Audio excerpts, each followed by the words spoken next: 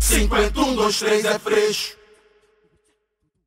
Dinheiro de empreiteira, de empresa de ônibus e de banco financiando campanha política, a gente já sabe como termina essa novela. É a política do rabo preso. O Marcelo Freixo não aceita esse tipo de dinheiro para fazer campanha. Ele faz uma política diferente.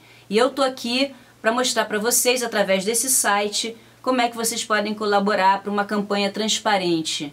Colaborem. 51, 2, 3 é freixo.